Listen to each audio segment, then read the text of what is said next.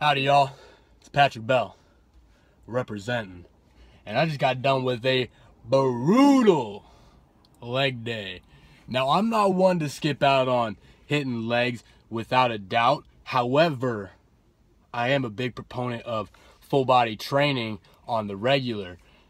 Now I'm going to more of a upper lower split and Man, the amount of volume in one day, which isn't really a lot of volume, it's only three or four different leg exercises, but I'm used to doing one, maybe two. If I do squats and deadlifts on the same day, that is a brutal leg day. There's no isolation, there's nothing else in there, and I get smoked. So having three or four different movements, squats, deadlifts, and a various assortment of other isolation work added on top of that, I get smoked. I'm gonna tell you right now.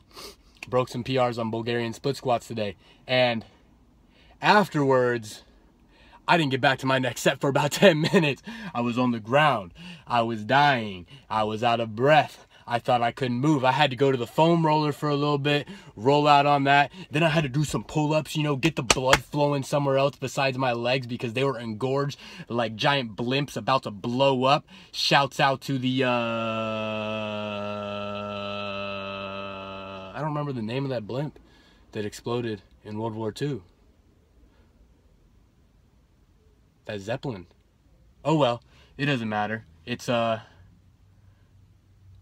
man, that's really gonna get me. Hey, it's okay, I'll find it out later. But I'm smoked. And I just really want to talk to you guys about how important it is to push past your limits, how important it is to simply go beyond where you think you could have gone last time. That's all I want you to do. I just want one more rep. I just want five more pounds. I just want one more step. I want you to put the right foot in front of the left foot and then put the left foot in front of the right foot and then the right foot in front of the left foot and you just keep on going. Doesn't matter how far you get.